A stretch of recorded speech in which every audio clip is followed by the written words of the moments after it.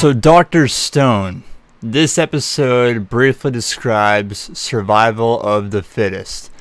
Senku versus Tarzan. Who will win in the end? This just got more exciting. Hello ladies and gentlemen, my name is Ranger Flame. Welcome everyone back to a brand new Dr. Stone review. Today guys, we're on episode 3, which is Weapon of Science. And my gosh, this is going to be a good fight. I'm pretty excited for it. But before I give you details about that, that's more towards the middle slash ending of this, let's talk about the start. So the beginning of this uh, episode, we all know that Tsukasa, his character was too good to be true. We see this guy wake up out of nowhere, literally falcon punch a lion and kill it, and then afterwards it's going to work with Senku and the others. We all know that was too good to be true. Like there was no way he was going to join Senku and Taiju on their journey to revive humanity because at the end of episode 2 we see that uh, has his own dream, his own desires. He doesn't want humanity to go back to normal. A big flaw about that in our day and age now is that there's always a law and a strict system. Tsukasa, he's looking at a future where everyone wants to be open, free, no adults whatsoever, and he's technically a murderer. And the worst part about it, and it's described even within this episode, is that Senku wants to keep this fluid a secret from him. Because if he knows about this fluid and the ingredients that Senku and Taiju need for this, he could basically destroy their whole operation. And this is what the world is going to be the stone world. That's all it's going to be. And humanity is going to be ruined and not go back to, let's say, the 2019 2020 period.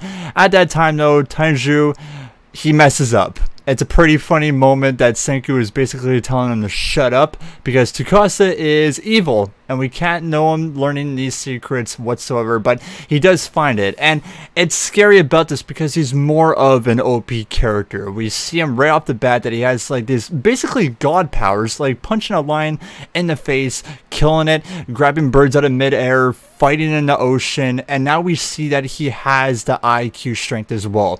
I don't know if this was this person before the Stone Age happened. If it was, then oh my gosh, like that is terrifying. Or he got it coming out of the stone right there. And I think it's coming out of the stone ability. And what I say by that is when Tenchu is trying to hold his ground against them because he's trying to, of course, um, hurt Senku and the others, we see that he kind of deflected his kick. And what we mean by that is saying, like, for example, hunting down birds and animals, we see his physical strength, that Taiju was able to survive that. So this is confirmed for Dr. Stone that, like, a different humanity or a different person, you'll come up with some sort of ability. Like, power is gained smarts, but Senku was smart from the beginning of that. And then, of course, we see what Tsukasa, his godlike ability. And now we see with uh, Tanju in this, uh, of course, episode with good defense somewhere around there. I don't know. That confuses me, and hopefully we get a lot of information about that throughout this episode here. But uh, another thing that happened with this is that we see Yuzu alive and all well.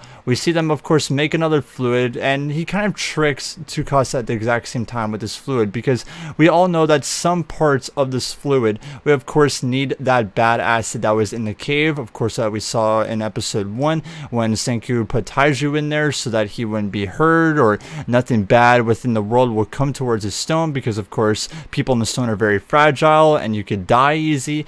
And we see that part of the acid that's only one part towards, you know, recreating this fluid to help humanity. So he kind of tricks Tsukasa at the exact same time to make enough fluid to revive Yuzu. So we see her as, of course, a main character. And I'm going to like that because we're going to get a lot more backstory towards her.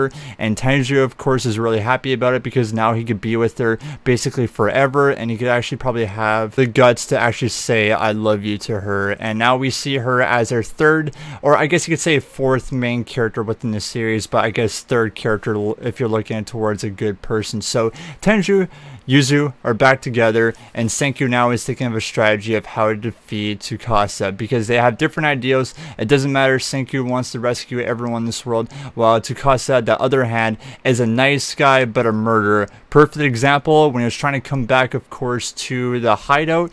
We see him killing the adults, but of course, helping the youth. That little girl, for example, him giving his shelled necklace to her. So he's basically a 50 50, a guy that's killing adults but is helping little kids or young adults or teenagers, etc., like that.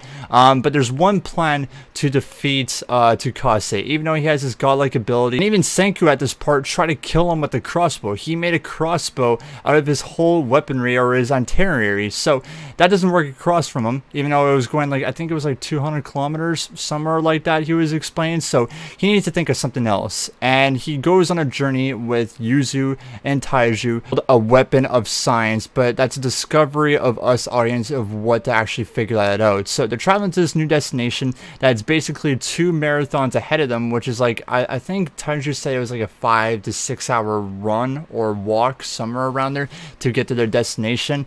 But once they do it, we see, of course, this beautiful landscape and shot. But the most difficult part that Senku had within, of course, this anime episode is finding out where they are because everything around them, since it's been over 3,000 years, everything crumbled away. It doesn't matter if it's bridges, if it's buildings, or etc. like that. It's all going to be dust, and it's just basically landscape and trees and etc. But there's one thing that they discovered, which of course is this statue that belongs in Japan where they live. The statue is filled with bronze, which bronze, of course, isn't uh, crumble away or any sorts of that period. So, of course, they use that material to create a weapon of science. And one last thing they do is go up to a volcano because Senku's mastermind plan that he wants to do is to create gunpowder. And what I love so much about this episode and what's so scientific about it is that we see them far behind like the Stone Age period. But gunpowder was made, I believe it was 300, 400 AD. So they're moving up like that. We see from the first episode, 2019, 2020, whatever period they are, go all the way back to the Stone Age. And just from that one material, gunpowder, as we follow throughout history, they're speeding up time really quick, especially with that fluid and their gunpowder, which of course can make explosive to use against Tsukasa.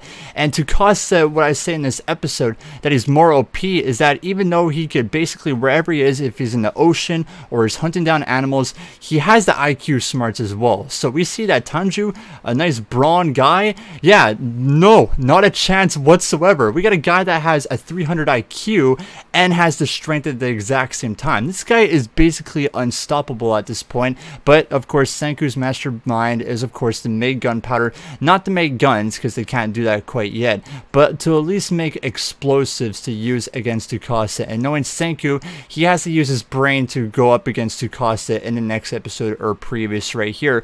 But will they make it in time as Tsukasa knows what they are doing? So that was episode 3 of Dr. Stone. And like I said, this brawl is going to be insane because Tsukasa is a guy to be scared about. No matter what animal there is in the world, this guy is a threat to everyone. He's a guy that wants freedom within this world, but he's also a murderer at the exact same time, while Senku and the gang want to rescue humanity. So they had to defeat this huge obstacle in front of them, but the question is, will they be able to do it? But yeah, episode three of Dr. Stone. I hope that you guys all enjoyed my review right here. I'm so excited for more of these episodes, and it's still great that we're getting 24 episodes within this anime series. But if you guys enjoyed my review right here, of course, make sure to leave a like, comment down below what's your guys' favorite parts within this episode, and subscribe to the channel. That'd be greatly appreciated. But either way, ladies and gentlemen, of course, we'll see you guys next week for a brand new Dr. Stone review. Much love, guys, and as always, have yourselves a wonderful day.